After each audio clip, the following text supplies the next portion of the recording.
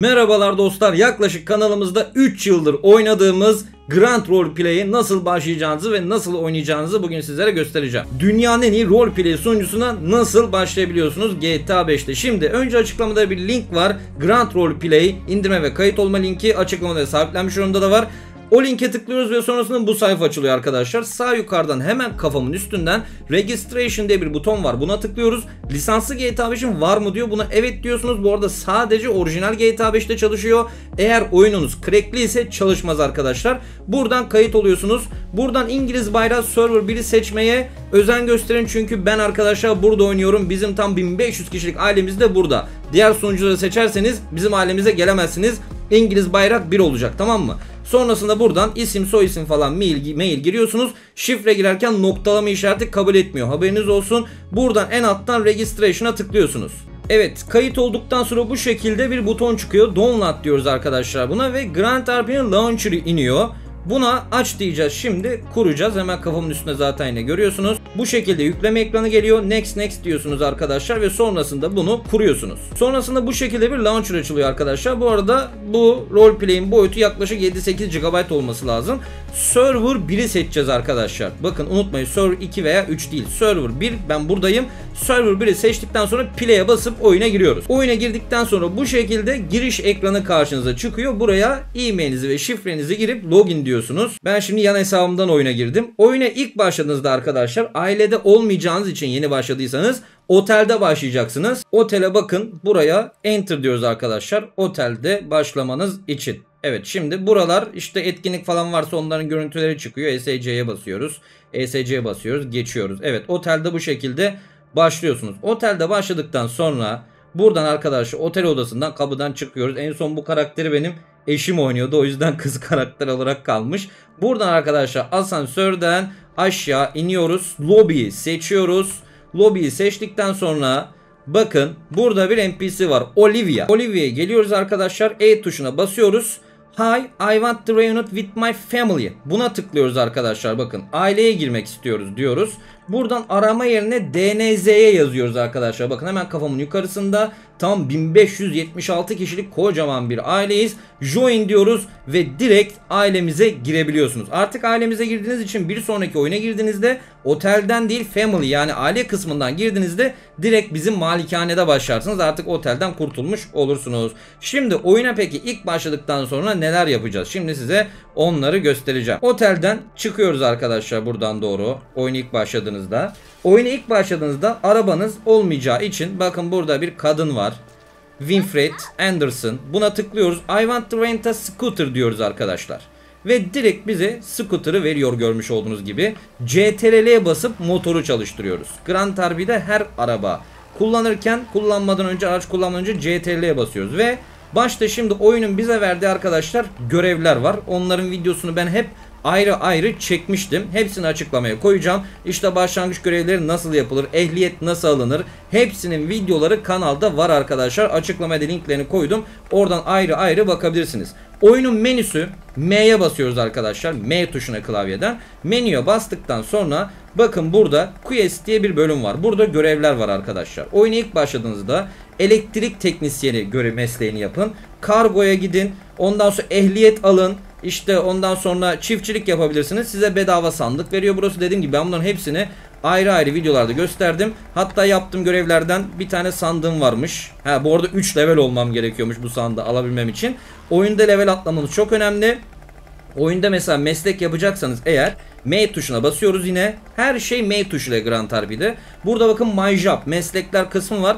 Buna tıklıyoruz. Burada tüm meslekleri görebilirsiniz arkadaşlar. Oyuna ilk başladığınızda en kolay ve ilk yapabileceğiniz meslek elektrik teknisyeni. Level 1'de yapabiliyorsun bunu. Çiftçilik ve lumberjack. Mesela diyelim tırcılık yapmak istiyorsun. Bunun için oyunda level 5 olman gerekiyor. Taksicilik yapmak istiyorsan 2 level olman gerekiyor. Peki level nasıl atlıyorsunuz? Çok basit. Yine M'ye bastık. İstatistiğe geldik. İstatistikte leveliniz yazıyor. Ben şu an mesela bu hesap level 2 arkadaşlar. Oyunda durdukça leveliniz artıyor. Bu kadar basit. Yani oyunu oynamanız gerekiyor. Açık bırakmanız gerekiyor. Oynama saatiniz arttıkça leveliniz artıyor. Bu arada bizim ailemize gelenlere ekstra özellik şu oyuna yeni başlayanlar için de geçerli bu.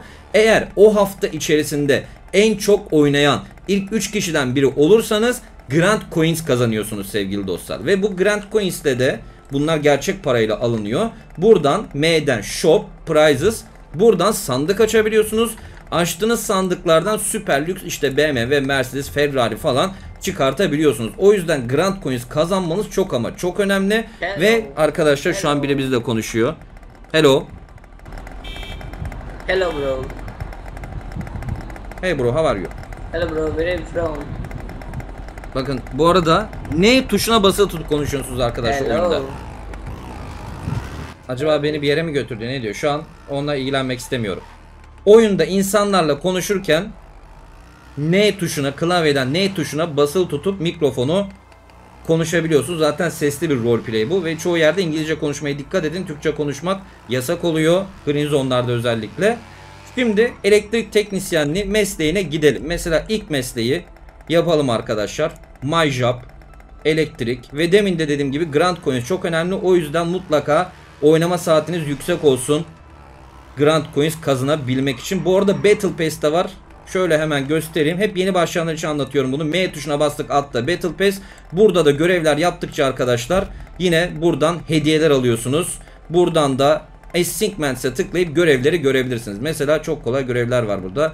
Tırcılık mesleği. Mesela fotoğraf yükle diyor Instagram'da. Instagram'da nasıl tele fotoğraf yükleyeceksin? Telefonla. Telefonla bu iş yapılıyor. Telefon nasıl açılıyor peki? Hemen geldik. K tuşuna bastık oyunda. K'ye basıp fotoğrafımızı çektik abi. Hemen bu şekilde. Sonra bunu Ingram'da yükledik. Buraya rastgele bir yazı yazdım. Ha bu arada level 7'den önce bakın bunu yapamıyoruz arkadaşlar. O yüzden öncelikle herkes umarım anlamıştır. Oyunun ilk başlarında oyunda açık durmaya çalışın saatiniz çok olsun. Çünkü birçok mesleği görevi yapabilmek için levelinizin başta yüksek olması gerekiyor. Şimdi en başta dediğim gibi bu elektrik teknisyenliği, çiftçilik ve odunculuk mesleğini leveliniz düşük de olsa yapabiliyorsunuz. Bir tane şimdi meslek örneği size göstereceğim. Ondan sonra ikinci yapmanız gereken şey, ilk yapmanız gereken şeylerden biri yani ehliyet almak. Ehliyet almayı da zaten ayrı videosunu çekmiştim. Kanalda bulabilirsiniz. Grand Harbi ehliyet DNZ falan yazarsanız çıkar. Onu da haritadan şimdi yerini göstereceğim. Ve mağazaya gidip sim kart almanız telefonunuz için diğer insanlarla konuşabilmek için. Bunlar temel şeyler arkadaşlar. Zaten geri kalan her şeyi eğer ailemize gelirseniz oradaki yetkililerimiz arkadaşlar size yardımcı olacaktır. Yani daha benim videoda anlatmadığım birçok şey var ve yapmanız gereken şey de kanalımızdaki eski videoları izleyin.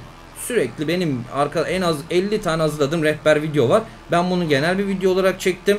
Ayrı ayrı hani ehliyet nasıl alınır, ondan sonra şu meslek nasıl yapılır, balıkçılık nasıl yapılır hepsinin ayrı ayrı videoları var arkadaşlar kanalda. Okey hepsini kanalda bulabilirsiniz. Şimdi elektrik teknisyenliğine gidelim. Zaten meslekleri seçtiğiniz zaman haritada size yerini gösteriyor. Mesela elektrik teknisyenliği mesleği burası arkadaşlar yeri.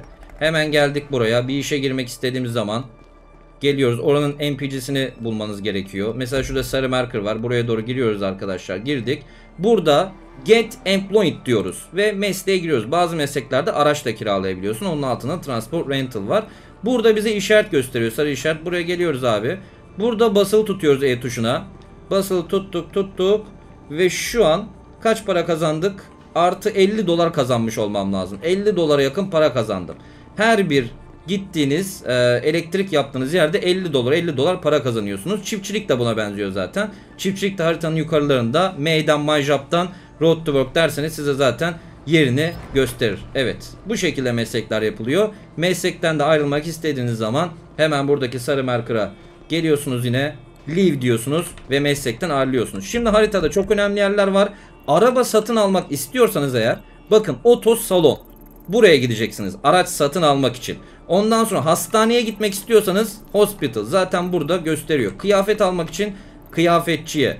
Ondan sonra ev almak istiyorsanız eğer bunların hep dediğim gibi ayrı videosunu çektim ben hepsini bu videoda anlatırsam bir saat sürer. Ev almak için arkadaşlar Real Estate Agency buraya geliyorsunuz ve eğer sim kart işte kamp ateşi bilmem ne hani malzeme almak için de şu kırmızı dolarlı yerlere gitmeniz gerekiyor. Ve benzinciler var aracınıza benzin almak için. Şu yeşil işaretli dolarlı yerlerde ATM'ler para yatırıp çekmeniz için. Daha bunun gibi arkadaşlar dediğim gibi birçok detay var. Ve yine M tuşuna bastığımızda Yine oyuna ilk başladığınızda en önemli şeylerden biri arkadaşlar şu achievement'leri kontrol etmek. Mesela bakın take away take away. Burada benim yaptığım bazı şeyler birikmiş. Görmüş olduğunuz gibi. Burada bazı başarımları tamamlamışım. Buradaki achievement'ten para ödüllerinizi almayı unutmayın. Burada mesela 3000 dolarım birikmiş benim görmüş olduğunuz gibi. Ve bir tane de görev yapalım mesela. Battle Pass'te daha kolay bir görev var mı? Battle Pass'te mutlaka unutmayın. Battle Pass'te de çekilişimiz var. Battle Pass'te dağıtıyoruz her hafta bir kişiye. Mesela burada kasinoyu ziyaret et diyor. Sadece ziyaret etmemiz yeterli. Veya taksi çağır diyor. En kolay görev bu. Bakın altta 3000 XP. Hemen geliyorum abi. K'ye basacağım yine. Abicim çıkar mısın önümden? K'ye bastım. K oyundaki telefonu açıyor. O yüzden çok önemli. Burada arkadaşlar taksi işaretine tıklıyorum alttan. Call taksi diyorum.